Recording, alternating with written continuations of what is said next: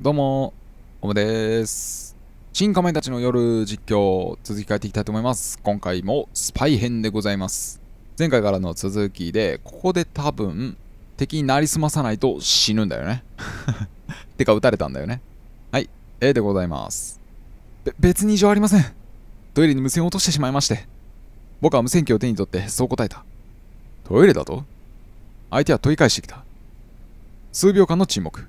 まずい。疑われたか？セレクト選択。申し訳ありません。お、大じゃありません。ちゃんと洗いました。えっと、えっと、んーと、えっと、えっと、だ、だ、大じゃありません。そんなことは聞いていない。申し訳ありません。落としたのは仕方ないが、定期連絡忘れるなよ。いけたぜ。男はそう言ってから無線を切った。よかった。なんとかごごまかせたようだ。この無線機は役に立ちそうだ。あれ ?2 階にもう一人いなかったっけ？見張り。持っていくことにして腰に下げる。麻酔銃で眠らせた男を宿泊室の中に隠し、えー再び廊下へ。ああ、ドキドキすんぜ、これ。さて、僕は改めて地図を見た。先ほど考えたようにここからのルートは2つ。1つは北側の非常用ハッチから降りて1階の備品庫を通り、玄関から駐車場へ抜けるルート。最短距離だが玄関周辺が厄介だ。もう一つは西側の階段から降りて風呂場から抜けるルート。俺なんか非常用ハッチから降りた方がいいような気がするけどね。こちらは風呂場に行くまでが危険だ。もしかしたら風呂に誰か入ってるかもしんないからね。あるいは無理を承知でまずは203号室に人質を助けに行くか。人質なんか掘っていきます。当たり前やろえー、っと、B かな。非常用ハッチから降りて玄関から降りてることにした。外に出てからが問題だけど、1階に行くまでは簡単だし、駐車場までの距離は短い。僕は麻酔銃を構えながら足音を立てないように廊下を進む。突き当たりの非常用ハッチまで無事たどり着いた。ハッチに手をかけるとすんなりと開いた。すんなりと開かなかったら非常用のハッチでの意味がないからね。1階に続く金属製のはしごがある。僕は静かにはしごを降りた。カンカン言ってたけどな、図によるとここは備品庫のようだ。電灯がついておらず暗い。非常用ハッチから差す光で、かすかにスチールラックに置かれた段ボール箱などが見える。おお扉が開く音がした。慌てて物陰に身を隠す。早く戻ってこいよ。せかすなって、こっそりお湯も調達してくるからさ。二人の男の声が聞こえた。どうやら見張りの一人が飲食物の調達に来たようだ。男がこちらに近づいてくる。敵を撃てオッケーうっというめき声とともに男が倒れる音がした。床にひざまずき確認する。よし、完全に眠っているようだ。男は腰に手榴弾をぶら下げていた。どうしよう、持っていこうか。うーん、持っていこう。危険だが何かの役に立つかもしれない。あと8発しかないからね、麻酔銃。僕は手榴弾を腰のベルトにぶら下げた。わかるか？ピンを抜いて投げるんやぞ。他のテロリストたちに見つからないよう眠らせた男を目立たない場所に隠すのも忘れない。さて、この備品庫には2つの扉がある。一つは屋外に通じる北側の扉だが、すぐに、すぐ外には見張りがいる。ああ、いるね、2人ほど。もう一つは廊下に出る扉で、こちらも玄関周辺のテラスに見張りはいるが、駐車場までの最短ルートだ。あー、なるほどね。備品庫から出ると前に2人。まあそっから出ても2人いて、いや、でもなんかぐるって回るのにまた2人ぐらいやらなきゃいかんでしょう。それやったらなんか、あー、でもなんか食堂が怖いっちゃ怖いな。廊下から出たら。えーと、もう一つは廊下に出る扉で、こちらも玄関周辺のテラスに見張りはいるが、駐車場までの最短ルートだ。僕は、なんで2階に戻るんだよ。やだよ。えー、っと、外に通じる扉に、これ難しいな。廊下の方がいいような気もするけど、食堂がちょっと怖いよな。今あと8発でしょ？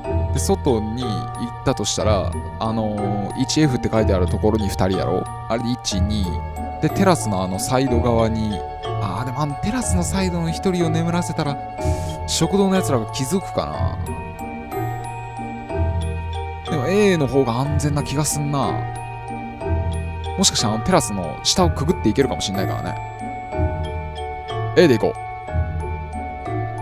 僕は外に通じる扉に向かうことにした。麻酔師を構えてゆっくりと扉を開ける。これ結構ね俺ババカみたいなシナリオだけど結構怖いんだよこれ。外に出た途端。止まれ。鋭い声が聞こえた。しまった。もう見つかったおー。早い。死ぬまでが早い。エンディングは回収しません。はい B 僕は廊下に出る扉に向かうことにした。何なんだろうねこのやり直しシステムは。扉の前まで来た。鍵がかかっていないようですんなりと開けられそうだ。廊下に見張りはいない。しかし窓の向こうテラスには2人の見張りがいた。すぐ横の地下へ通じる扉の前にも見張りが1人いるはず。警戒が必要だ。いよいよだ。戦闘になるかもしれない。深呼吸をして。神経を集中する。僕は麻酔銃を構えながらそっと廊下に出た。二人の見張りには寒さに耐えるように体をゆらゆらさせている。玄関のすぐ外に見張りはいないが途中にある食堂の扉の向こうには多くの敵がいる。僕は地下へ降りる階段に向かうことにした？玄関へ向かうことにした？どっちがいいかなこれ。地下地下に降りた方がいいのか？ちょっと B 行ってみようか。これマジで怖いからね。僕は地下へ降りる階段に向かうことにした。わざわざ見張りを配置しているのに気になっていたが何かあるのだろうか？体をかがめて地下階段のすぐそばの曲がり角まで行く。図によればここを曲がったすぐばすぐの場所に見張りがいるはずだ。外のテラスにも2人の見張りがいるから。素早く麻酔銃を打ち込んで敵を倒し階段を降りなければならない。今だ。敵を撃てやろ。見張りの男に素早く2発。あれ？弾が出ない？麻酔銃壊れた？敵だ。なんで？なんで？なんで？なんで？なんで？なんでや？え？麻酔銃壊れた ?2 発しか撃ってないやろ。玄関へ向かうことにした。僕は玄関へ向かうことにしたバッドエンド回避しまくってるからねまあ、回収してもいいんだけど、いちいちなんかタイトル画面に戻ってゲームを開始するってやるの結構めんどくさいよな。敵がたくさんいる食堂の前、扉の前を通過し、無事に玄関にたどり着いた。素早く自分の靴を履き、身をかがめながら玄関の扉に近づく。おい、お前誰だ？突然後ろから男に声をかけられた。見つかった振り返ると白い戦闘服を着た男がこちらに銃口を向けていた。運悪く食堂を出ようとした男に見つかってしまったようだ。反射的にクソ箱の影に身を隠す。重要性出てこい。僕に命令した男。あと男はマイクに向かって叫んだ。侵入者だ。応援を。クソ箱の影で身をかがめつつ考えた。どうする。ふと腰に下げた手榴弾が目に入った。これを使う手もあるが狭い場所で爆発させてもいいのだろうか。死にそうな気配がするな。ちょっと手榴弾使ってみたいから俺手榴弾食堂に投げ込むのが一番良かったと思うんだけどね。B だ多分死ぬんだろうな。僕は腰に下げた手榴弾を使うことにした。このピンチを出せるにはこれを使うしかない。こんな狭い場所で使うのは危険かもしれないけどそんなことも言ってられない。手榴弾を手に取って眺める。このピンを外せばいいのか。僕は覚悟を決めてピンを外し戦争映画で見た時のように12と数えてから敵に向かって手榴弾を放り投げた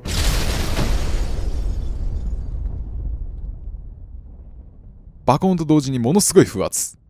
それを全身で感じ取ったところで、僕は気を失った。あ、バテンで言っちゃった。あ、こいつまだ生きてますぜ。次に気づいたとき、そんな声が聞こえてきた。靴の中目を開けると、白い戦闘服を着た二人の男が驚いたように僕を見下ろしていた。放っておいても死ぬさ。もう一人の男が言う。どうやら僕は雪に掘られた穴の中にいるようだ。意識が朦朧として体が動かない。このまま僕は死ぬのだろうか。そう思いつつ横を見ると、女が倒れているのが見えた。みゆきさんだった。顔中から大量の血を流し、カッと目を見開きながら死んでいる。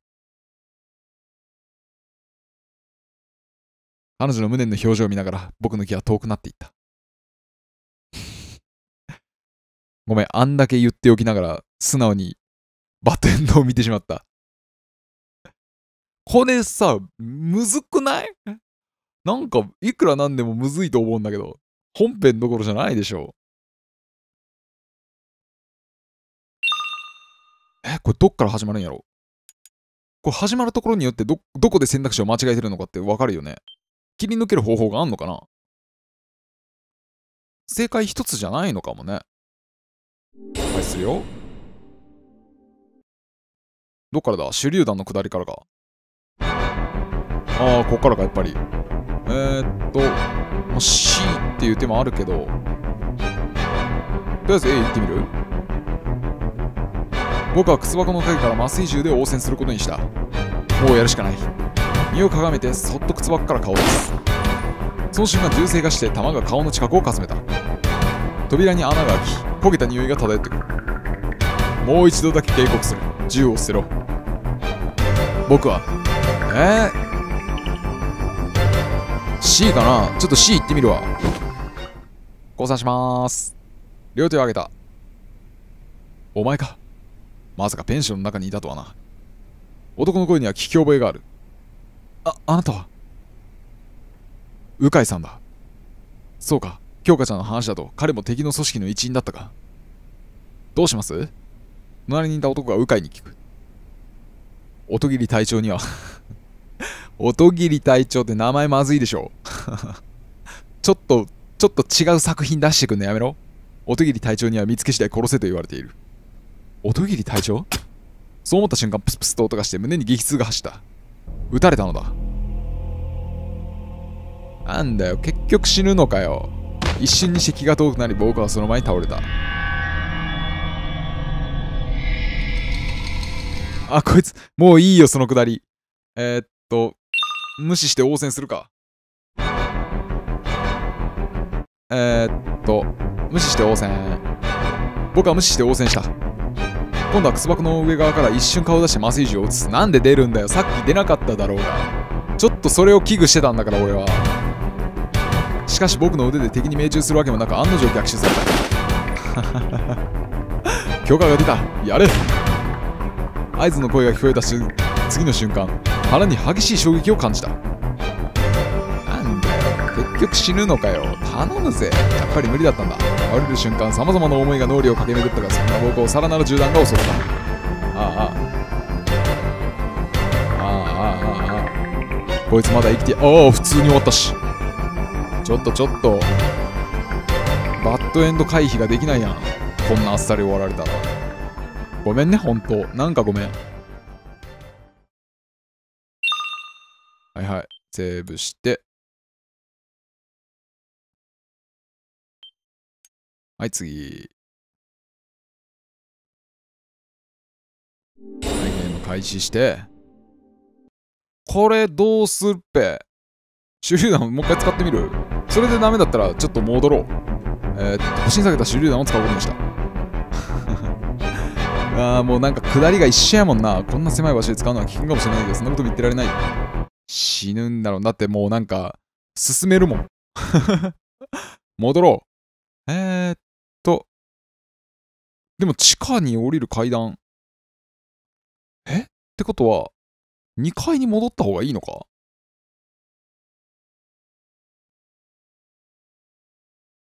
どこで、どっかで間違ってんだよね。これ多分もう無理だもんね。積んでるもんね。えー、っと、あり得るとしたらここか。だ外に通じる扉に向かって死んだやん。で、え地下へ降りる階段に向かったら、あの、銃がジャムって死んだやん。ここか、やっぱり。もっと戻ってもいいけどね。非常用8使って戻るか。2階の元の場所に出て静かに廊下を西に進む。バルコニーの直前に来たところで僕は立ち止まった。ここに一人いるでしょう。北に談話スペース。南にバルコニーがある。その両方に一人ずつ見張りがいるはずだ。僕は北の談話スペースを覗き込んだ。あれ？談話スペースは無人だった。そういうのが逆に怖えんだよ。しかし見取り図を見直すと確かに見張りの印がある。配置変更があったのだろうか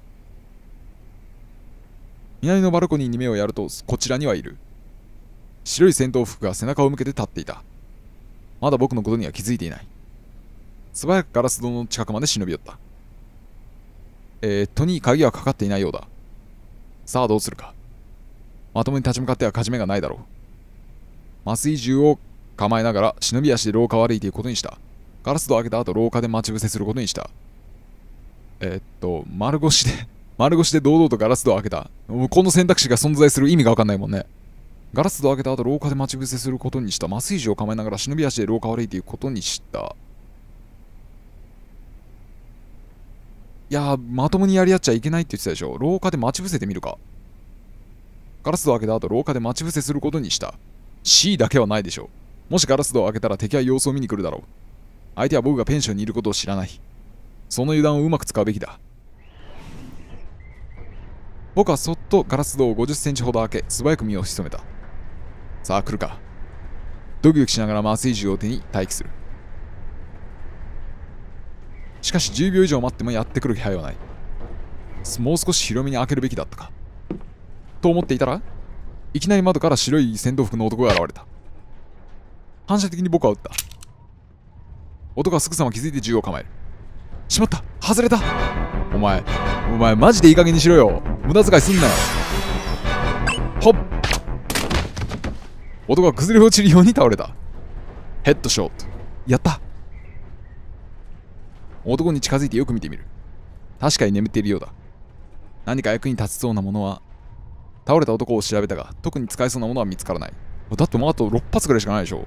今1発無駄にしやがったからこのアホが。畜生。鳥獣は僕には使いこなせないだろう。そもそも人を殺すっていうことが無理でしょう。バルコニーの目立たない場所に男を隠す。と雪が積もった床に金属製の保温ポットが置かれているのに気づいた。近づいて開けてみると中には熱いコーヒーが入っている。何かの役に立つだろうか。持っていくと邪魔になりそうな気もするが。いやいやいる？いらんでしょいらんいらん。僕は無視して先に進むことにした。邪魔になるって言ってたもんね。不要なものは持たずになるべく身軽でいた方がいい。こっちには手榴弾があるからね。廊下に戻って西の階段へ進む。図によればもうこの先駐車場まで見張りはいないはずだ。っていうかさ、バルコニーからさ、できるだけ遠くに手榴弾投げてバカーンって遠くを爆発させてなんだなんだっつってあいろんな人たちがあっちに行ってる間に進んだ方がいいと思うんだけど。図によればもうこの先、駐車場まで見張りはいないはずだ。ところが階段を降りようとした時 南側のトイレから突然人が現れた。ハンカチで両手を拭いている。まずい反射的に僕は麻酔銃を撃った。しかし名女、お前、マジでいい加減にしろよ。俺に撃たせろ。ふざけんじゃねえよ。敵か。ええー、加減にしなさい。敵はこちらに気づき障子を構えようとする。すかさず僕はもうおいおいおいやめろやめろやめろ。マジで無駄遣いやめろ。俺に撃たせろ。一発が太ももに当たったようで男はがっくりと床に倒れた。てかどんだけ威力高えんだよこの麻酔銃。太ももに当たって一発で眠るって。ふう。倒れた男をよく見たが確かに眠っているようだ。そうか。こいつは北側バルコニーにいたはずの見張りか。えっと、えっと、今、あと3発ぐらいしかないんじゃないの？図が間違っていたのではなくトイレに行っただけだったのだ。遠回りなんとかピンチを出したが、お前のところで弾を消費、お前が勝手に弾消費したんだろうがよ。僕は大きく息をついてから先を急ぐ。階段を慎重に降りる。突然腰に下げてる無線機に着信があった。全員につく。計画通り構えたちを確保し、連行した。今朝、説明、ん？今朝説明した場所に監禁したが、警戒態勢はそのまま継続する。繰り返す。かまいたちというと、京香ちゃんを救いに行ったという工作員のことか。やはり捕まったというのは本当だったのだ。しかし、今朝説明した場所に監禁と言っていたが、どの場所のことだろう。連行したということは、かまいたちをこのペンションに連れてきた？とにかくこれでみゆきさんが死に、かまいたちも捕まってしまった。となると、京香ちゃんはどうなるのだろう。僕が救う？そんなことできるのだろうか踊り場で身を隠しながら1階の廊下を覗き見た。人がいる気配はない。図によればここから露天風呂まで見張りはいない、えー、ただしすぐ先の地下階段前に見張りがいるから注意が必要だ。廊下を進みラウンジからすぐに出る手はあるが多くの敵がいるようなので危険だ。予定通り男子風呂に行くか。それとも僕は地下へ降りる階段に向かうとまずいんだよね。でも地下に多分かまいたちいるんやないか。予定を変更して南のラウンジへ向かった。なんでだ？いやーどうなんやろう。一回地下に向かっていい？ダメそうだったら戻るから。僕は地下へ降りる階段に向かうことにした。まだ邪魔んのかな？わざわざ見張りを配置しているので気になっていたが。何かあるのだろうか？死亡フラグが立ってるなぁ図によればここを曲がったすぐの場所に見張りがいるはずだ。外のテラスには2人も見張りがいるから。素早く麻酔銃を打ち込んで敵を倒し階段を降りなければならない。今だ。おい。ああダメですね。ああ一緒ですね。ってことは計画通り風呂場に行くか。とりあえず。とりあえずあそこでジャムんのはもう確定っぽいね。僕は計画通り風呂場へ行くことにした露天風呂まで行けばもう敵と遭遇することはないはずだ。息を殺して静かに素早く階段を降り一目散に男子風呂ののれんをくぐる。よかった。誰にも気づかれなかったようだ。僕は脱衣所に入って誰もいないことを確認し大きく息をつく。浴室には湯気が立っていてよく見えないが中にも誰もいないようだ。本当か？浴室を通過して露天風呂に出た。外はひどい外はひどい吹雪で雪の積もった岩風呂の湯船からは黙々と湯気が立ち上っている。問題は2メートル以上ある垣根をどうやって越えるかだ。見回してみると隅に金属製の脚立が置かれているのに気がついた。よしこれを使って。と思って脚立に近づいた時垣根の向こうから男の声が聞こえた。交代だ。ああもうそんな時間か。どういうことだ？僕は慌てて地図を見る。この図によると見張りは配置されていないはずだが僕はそっと脚立を脚立を立てて静かに登り垣根の外を見た。いる。小銃を持った戦闘服の男がペンションの外側を向いてあ立っている。僕は脚立を降りて図を見た。そうか。多分テロリストたちは西側の監視が薄いことに気がついて配置を変更したのだ。彼らからすれば当然のことだが僕にとってはまずい。一体どうすれば？えー、っとすぐ手榴弾を使おうとするね。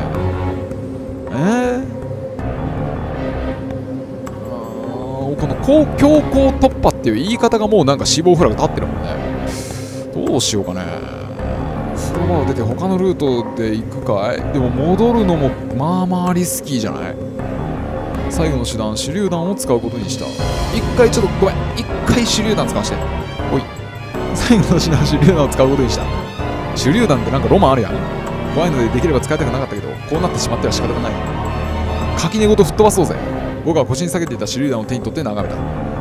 指を差し込めるピンがあった。これを外して投げればいいのだろう。うまく投げられるだろうか。持っているだけで手が震えてくる。寒いしね。僕は。えー、っと決心してえー、っとおおなんだこの選択肢は。垣根の外の見張りに投げることにした。女村に向かって投げよう。僕は女村に向かって投げることにした。直接西の敵に投げるより女村を越えて北側に投げる方がいい。爆音を聞いた敵が北側に回った隙に西側から逃げるという計画だ。いいですね。我ながらいいアイデアのうに思えた。僕はピンを抜いて映画で見たように12と数えた。後手榴弾を投げた。一回聞いてんだよなそのセリフ。嫌な予感がするな。急いで耳を塞ぐ。爆発までの静寂が数十秒にも感じられた、頼むから湯船の中に入れたとかバカなオチやめろよ。おおものすごい轟音とともに空気も揺れる。思った以上の爆発で腰を抜かすようになったがなんとか耐えた。その時無線機から男の声が聞こえてきた。今の爆発は何だ？報告します。女風呂の北側で爆発あり。ラウンジ班急行せよ。ラウンジ班？ラウンジは、えー、南西部にあるので敵は西側を通るのだろうか。かといってグズグズしているとこのフロアも誰かが来てくる来るかもしれない。どうする？ああこれ。これ廊下に出た方がいいんじゃない？一旦廊下に出ることにした。やっぱり垣根の外は危険だ。僕は急いで浴室と脱衣所を通過し廊下に出た。これで見張りがいなくなってるやない。よかった。誰もいない。しかし廊下に出てどこへ？地下室でしょう。はいはい地下室。見張りが一人いるのは問題だが外で多数の敵を相手にするよりマシだ。地下室の階段はこの廊下のすぐ左を曲がったところにある。僕は左の曲がり角を注意深く覗き込んだ。いた！しかしすでに敵は僕に気づいていて銃を構えていた。僕はなすすべがなかった。次の瞬間。敵の銃弾が。ダメでしたね。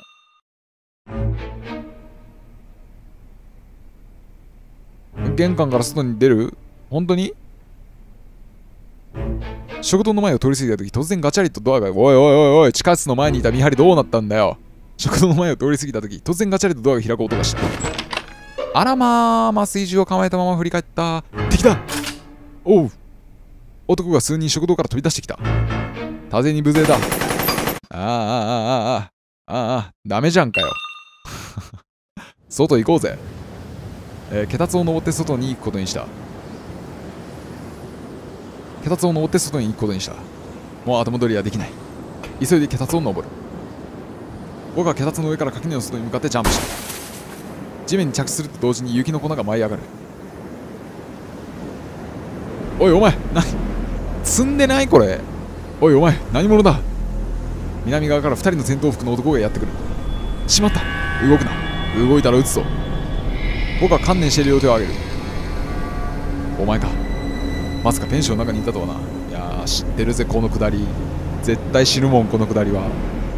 男の顔を見て驚いた。向井さんだ。おってことはこれは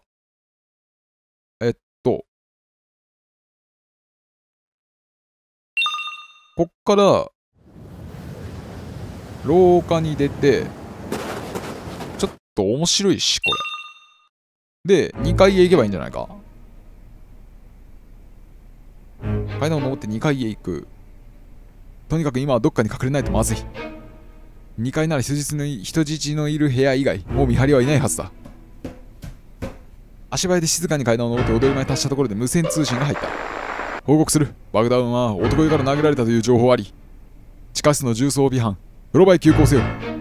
よかった。風呂場にいたら危ないところだった。しかし2階に来たはいいもののどこに隠れよう。元の部屋かそれともトイレの個室にでも。迷っているとまた無無線通信が入った。こちら司令部山崎聞こえるか？ドキッとした。どうやら全員に向けた通信ではなくてこの無線に当てた、えー、個別通信のようだ。はい何でしょう。迷ったか僕は返答した。バルコニーの高棚橋の返事がない。様子を見てこい。俺も今から行く今から行く。それは僕が眠らせたのだから同然だ。ははい了解しました。無線を切って僕は考えた。このままでは危険だ。いつまでも嘘が通じるとは思えないからいずれ2階にも敵が来るだろう。うんうん。俺もそうしようと思ってたんだよ。非常用ハッチに向かってで外を歩いてたらいいんじゃないそして足早で廊下を東に歩き開いたままの非常用ハッチからはしごを降りる。備品庫に降り立つとまた無線通信が着信した。2階バルコニーにいて棚橋が倒れているのを確認。食堂班急行せよ。あーここで食堂班が行くのか。早速見つかってしまったようだ。敵はいずれ非常用ハッチを通ってここにもやってくるだろう。かといってここの北の裏口から出ても爆発騒ぎで敵がたくさんいる。僕は決心して廊下側の扉から出た。すると読み通り廊下は無人だった。敵は階段を通って2階に行っているんだろう。僕はどさくさに紛れて地下室に行きたいんやけどな。ごめん何が何でも地下室に行きたいマンやから地下室行ってもいい？僕はどさくさに紛れて地下室に向かうことにした。そうだ。先ほどの通信によると地下室の見張りはいなくなったはずだ。どっかに隠れる場所があればいいか。僕は廊下を進み角を曲がって下の階段まで来てきた。よしやっぱり見張りはいない。階段の下には左右の手前扉に手前側に扉があった。確か左がボイラー室右が倉庫だったか。恐る恐る右の扉をノックしてみたが返事はない。ノブに手をかけてみたが鍵がかかっていた。続いて麻酔銃を構えつつ左側の扉をノックした。開いてるよ。早いわね。女の声がして扉が開く。あれ？これ敵側の子じゃなかったっけ？えああなた。驚いたことに姿を現した女は新外里美だった。そうか。梅園みゆきによると里美も敵の一員だったか。今日疲れたものの里美が銃を構えようとしたので僕は麻酔銃を向けた。同時に彼女が僕の腕を蹴り上げる。里美はその体勢のまま僕の胸のど真ん中に弾丸を命中させた。2発。いや3発。麻酔弾を里美に撃ち込んだつもりだったが。全て外れてしまったのか。それとももう弾が切れていたのか。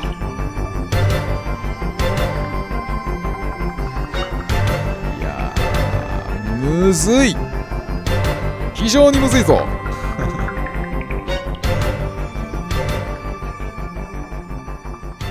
これは難しいけどちょっと楽しくなってきちゃったからね。また次回この続きからやっていきますので次ぐらいでちょっといいとこ見せたいね。ってことでまたよかったら見てやってください。それでは。またね。